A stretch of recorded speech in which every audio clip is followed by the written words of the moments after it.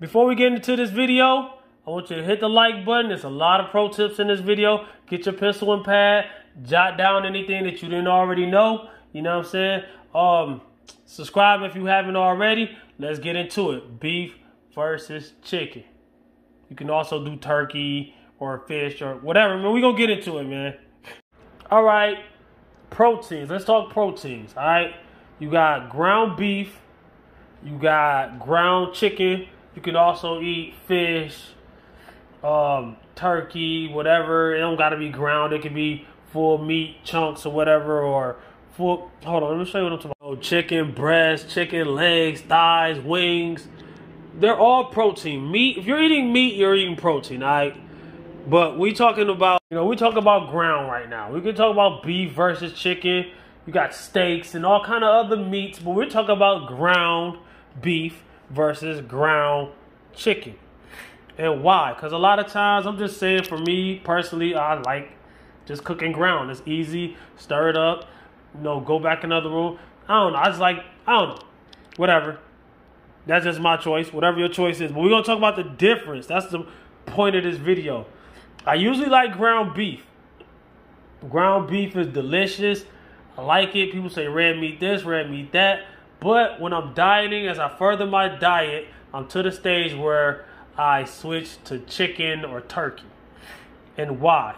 Why? Let me show you the macro. Always look at the back of your packages, whatever you're eating. This ground beef is almost gone. But ground beef is very high in calories. Um, pound for pound, you know what I'm saying? Look at this. Calories per serving. 170 calories for the ground chicken. Per serving. 280 calories per serving. Per four ounces. Same thing, four ounces. Right? If you're to eat the whole container like I am, that's times four. So would you rather have four times 107 or four times 280? Anybody that knows weight loss knows calories in versus calories out trumps any diet. I don't care what type of diet you're on. If you're vegan, then this video might not apply to you. Um, it might offend you a little bit. I don't mean to offend anybody, but I'm gonna eat what I'm gonna eat. You know what I'm saying? I don't disagree with anything anybody else does for their own personal self. Just throw that out there. Um, cause I got a lot of friends that's vegan. I think I got family members that's vegan. My thing is I don't disagree with a vegan diet. At the end of the day, um, my only advice is for people that's going vegan or thinking about it is make sure you learn how to get your protein in. I'm not the one for that because I don't do vegan. I say beans and some nuts or I don't know. You got to figure it out because a lot of people that go vegan, they just start eating vegetables and fruits and then they just don't even think about protein. You know what I'm saying? But let's let's carry on. And you know why the calories are so much lower? Okay, you know zero carbs for both, roughly. Zero carbs. The protein's about the same. Well, no, 19 grams of protein for the um, the beef, 22 grams of protein for the chicken. So the chicken is winning two to one already. But do you know why the, the calories are so much higher for the beef than it is the chicken? Because you got to remember your macros, right? Every gram of protein is four. Every gram of protein is four calories. Every gram of fat is nine calories. Every gram of carb is also four calories. But we're looking at fat and uh, we're looking at fat and protein right here. Look at the fat count. 22 grams of fat per serving. All of this is per serving. This has 9 grams of fat per serving. Now, yes, this is the 80-20. When you buy ground beef, always look at the fat to lean content. This is the 80-20. So this is pretty lean. You got 90 something percent lean too, beef. But I don't eat that. Because it tastes like crap. It tastes like paper. I don't, I don't want it. You know what I'm saying? I like the fattier beefs. So instead of eating the leaner beefs when I'm ready to eat the leaner beefs, no, I just switch from chicken. I switch to chicken or I switch to turkey for most of my meals. That's not saying I'm not going to eat beef. That means most of my meals when I'm trying to diet are going to be my protein is going to be chicken or turkey. You know what I'm saying? You also have eggs, which pretty much come from chicken, so I'm to say it's still chicken. But you know, you got different sources of protein. A lot of people always ask me, what kind of protein shakes do you take? What kind of protein shakes? Because most people think that supplements are the, your bread and butter, and I understand why I can't talk crap about them because I was worse than you if you wanted them. You know what I'm saying? When I first started lifting, I brought every supplement in the store. I'm also gonna show you a little my carbs. I had a I had a shopping video yesterday. A lot of people say, "Oh, you eat packaged um, foods, you eat um non you eat processed foods here and there," but I try to keep like 90% of my foods when I'm on a diet or when I further my diet natural. Natural food. One one ingredient food, you know what I'm saying? You know, I try to stay away from fast food so much. I still eat it. I don't cut anything out of my diet. I cut things down. You know what I'm saying? Because the number one thing that you're looking for, the reason I switched from beef to chicken you know, for most of my uh, diet is because of what? Calories in versus calories out.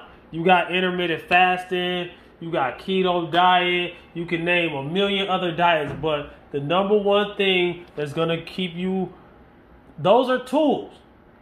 Your bread and butter on a diet is calories in versus calories out, more important than any type of diet.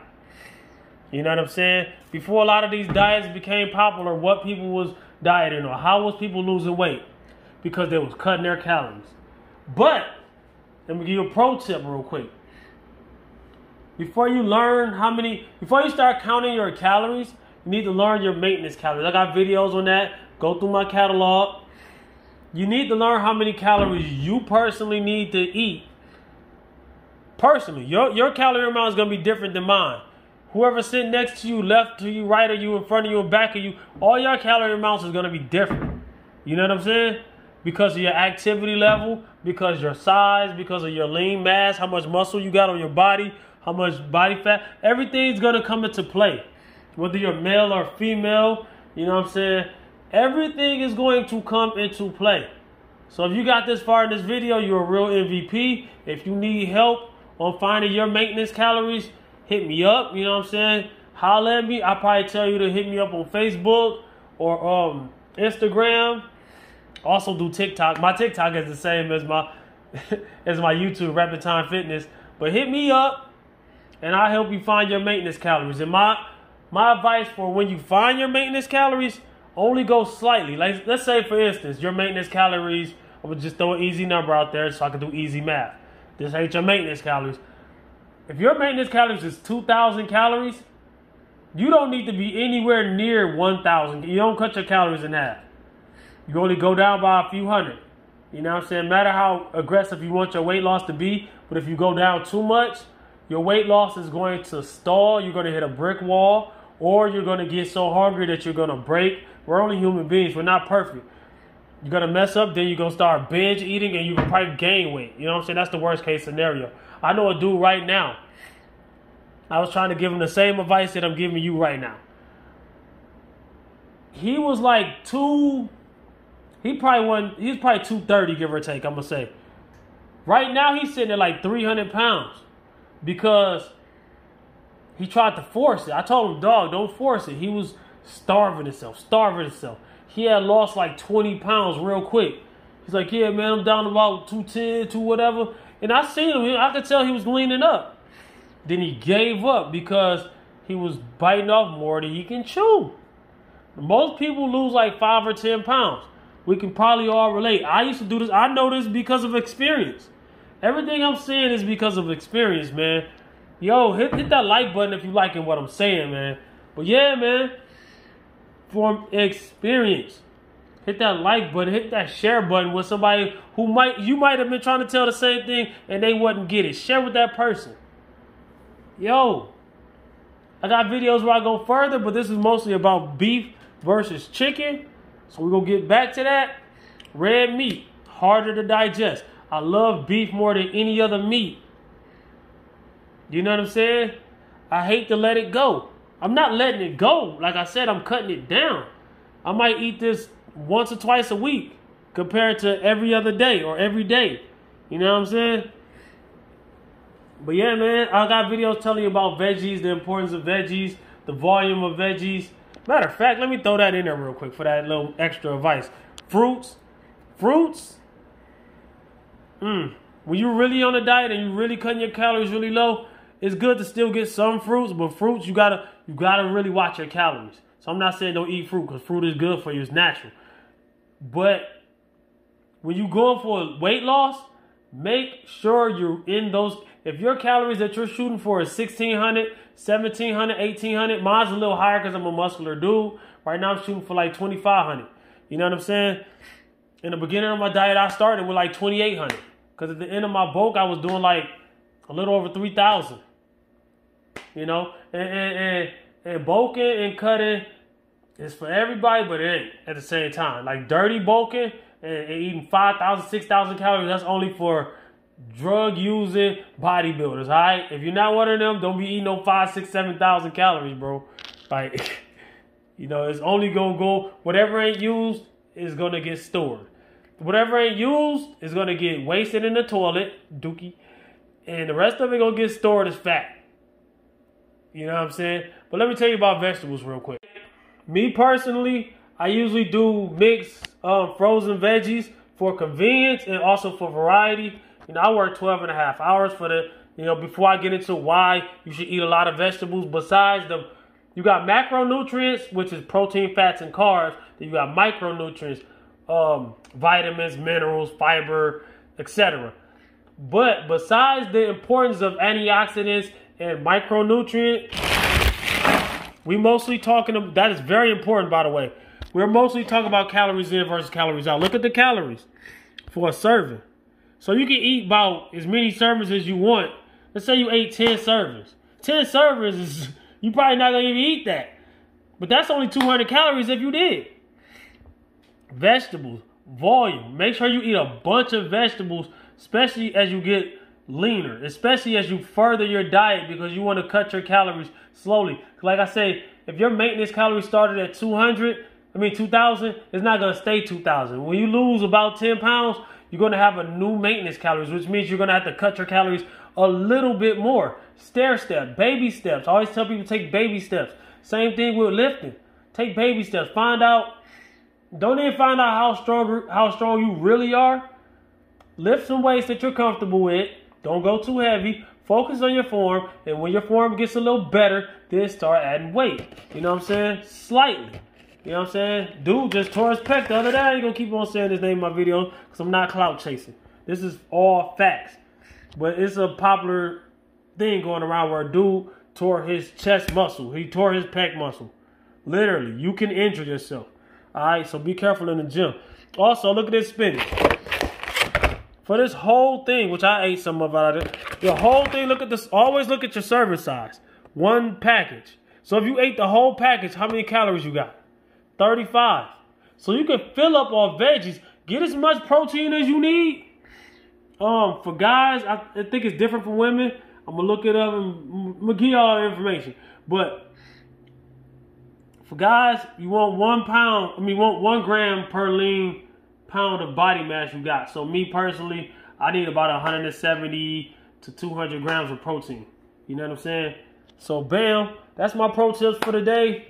Um, if you learned anything and you ain't subscribed yet, hit that subscribe button. If you ain't hit that like button yet, you made this far in this video, hit the like button, help the algorithm, help the message get out to more people. Um, I do do fasting, so at the end of the day, I'm probably close to 20 hours of fasting. I ain't even done my math yet. I know I'm way over 16, but uh, I got videos about that too. How to fast, how long should you fast, what different types of fast, what fast might fit you, or you know, you might like something else.